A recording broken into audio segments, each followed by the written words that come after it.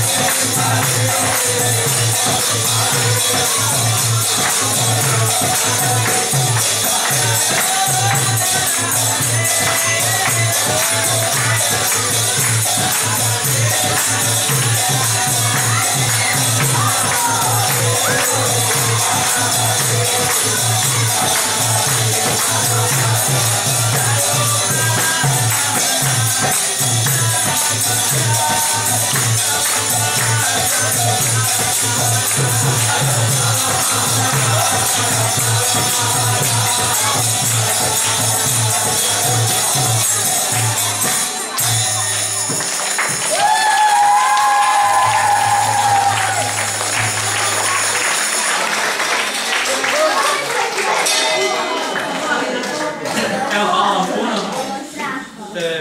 bila prezentacija, kratka prezentacija naše. E, Znači, mi smo uselili u prostor preko, tamo ćemo oko 10.1. ćemo otvoriti vegetarijanski restoran, u koji ste naravno svi pozvani da dođete svakodnevno.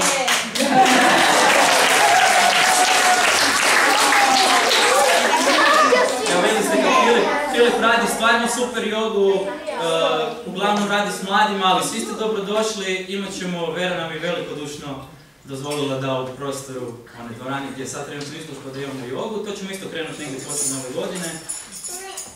Imamo i ured preko, pa s bilo kakvim pitanjima možete slobodno doći do nas ako vas zanima indijska kultura, vegetarijanstvo, joga, mi smo uvijek otvoreni za sva vaše pitanja. Evo, hvala vam puno i nastavljamo dalje.